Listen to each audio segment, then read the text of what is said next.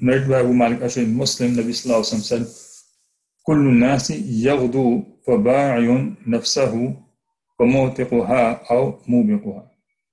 All of mankind wakes up in the morning as a merchant of his soul. So he either imprisons it or sets it free. Again, the choice is ours on how we spend our life, and this choice is given every single day.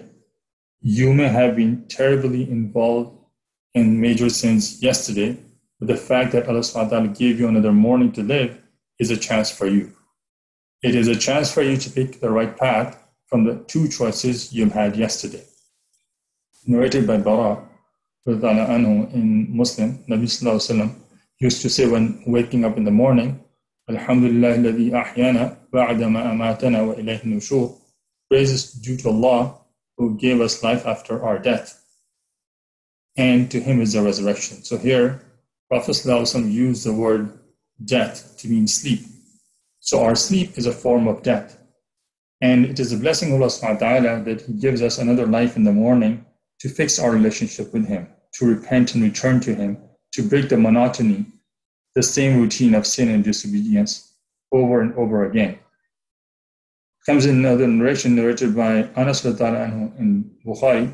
Nabi Sallallahu said that Allah subhanahu wa ta'ala said, meaning this is a hadith Qudsi, إذا تقرب العبد إلي شبرا تقربت إليه ذراعا وإذا تقرب مني ذراعا تقربت منها تقربت منه باعا وإذا أتاني مشيا أتيته هرولة My Lord says, Allah subhanahu wa ta'ala says, if my slave comes near to me for a span, meaning a span of a hand, I go near to him for a cubit, which is from the palm to the elbow.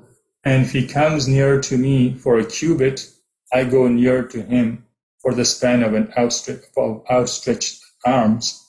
And if he comes to me walking, I go to him running. This is yet another encouragement by Allah subhanahu wa ta'ala, that on top of showing us the two paths, good and evil, and then giving us a chance every single day, he reassures, he reassures us that he is looking for just a small gesture of return from his slave. You do that, and he will make the rest happen. You show remorse on your sins, you lift your hands for dua and forgiveness, and you will find him eager to accept it. Subhanallah. And it doesn't stop here. Allah subhanahu wa ta'ala does not put any time limits or space constraints on his slave seeking forgiveness either.